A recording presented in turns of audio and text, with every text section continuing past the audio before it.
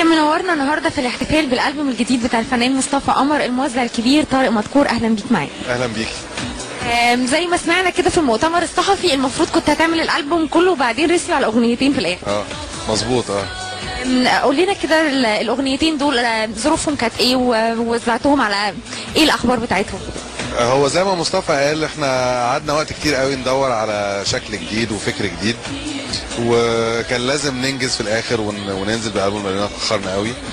فأنا اكتفيت بأغنيتين بس ركزت فيهم كويس الحمد لله. هما أول وتاني أغنية في الألبوم.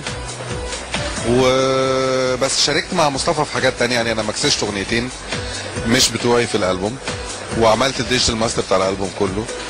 وكنت مع مصطفى دايما في الرأي ويعني مش لازم الواحد يشارك بإن هو يبقى وزع أغنية بس ال- الفكر نفسه بيفرق يعني. فالحمد لله إحنا حاسس إن إحنا وفقنا المرة دي وعملنا حاجة تعجب الناس الحمد لله. إيه رأيك في مجموعة الأغاني؟ يعني الكلمات والألحان إيه رأيك فيها المرة دي؟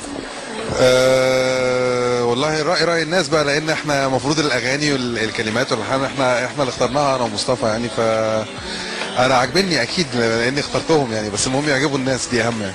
تحب تقولوا إيه النهارده؟ أقول له ألف مبروك يا مصطفى والحمد لله الألبوم عجب الناس ووصل للناس اللي إحنا كنا عايزين نوصله لهم وإن شاء الله نعمل نجاحات أحسن وأكبر في في الألبومات الجاية بإذن الله مع بعض طول العمر يعني